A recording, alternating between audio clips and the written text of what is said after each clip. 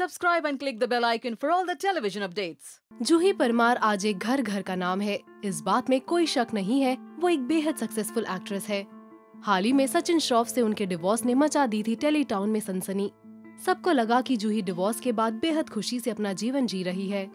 पर जूही ने अपनी एक इंस्टाग्राम पोस्ट से कर दिया है सबको दंग। देखिए जूही ने किया अपने सोशल मीडिया पर ये post my second life I know you guys haven't heard from me from long and there's been a reason. On the 21st of March, the night of Holi, I had a near death, almost out of body experience. I felt sick and threw up, and where I threw up, it came through my nose and it got stuck in my nasal passage. I was at my best friend Ashka Goradia's house, from where I was rushed to the hospital around 10:30 to 11 pm at night. I couldn't breathe, but surprisingly, all my parameters medically were fine. The oxygen, the carbon dioxide, the ECG, the blood pressure, etc. were all in place. However, I could feel myself choking and I felt that I wouldn't be able to survive for another 5 minutes. I whispered to Ashka to take care of my daughter Samaira because I felt I wouldn't survive. And then I had a surreal experience. I saw my whole life in front of me. And I had a conversation with God as I felt the doctors and everyone around me starting to distance away. I could feel my soul at the threshold, and I couldn't have let that happen as I couldn't do that to my daughter.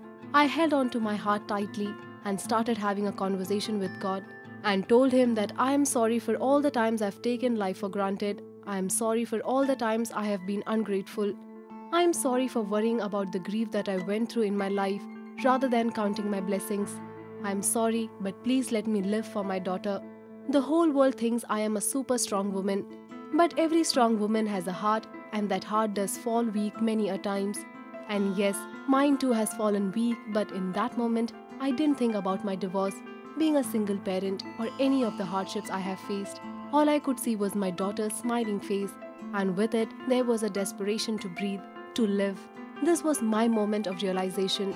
I realized how small we are, how big we make our problems to be, how huge this universe is, and how we tend to think we are the center, but the remote control isn't even in our hands. In that moment, I forgave everyone who had wronged me and held on to no grudges, to no negative feelings, and just let go because I didn't want to carry this baggage.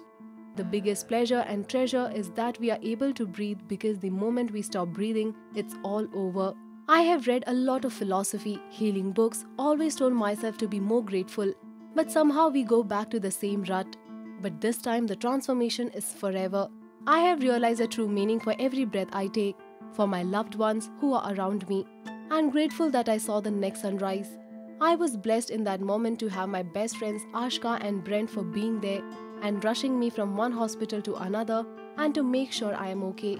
Blessed to have my child who held on to my hand and said, Mama, calm down, you will be okay.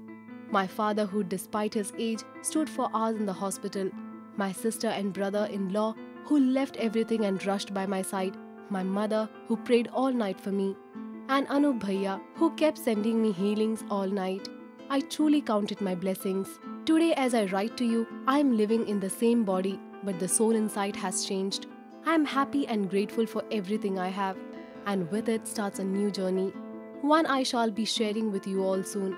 But till then, Remember tonight to count the stars and with them each and every blessing you have so that you wake up to tomorrow's sunrise with huge gratitude, a warm smile, and immense positivity. We make our professions and identities, but from that moment onwards, I am and shall always be a grateful human being.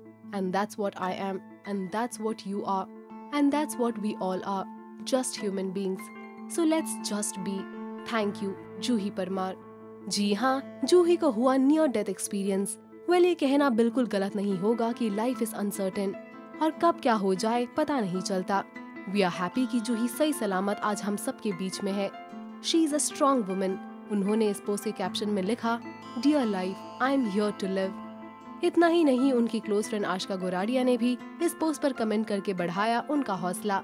आशका ने लिखा my power women for Sammy you will fight anything And you, I will fight anything. You know it. Well, thank God juhi is okay आपका इस बारे में क्या कहना है comments कर हमें ज़रूर बताएँ।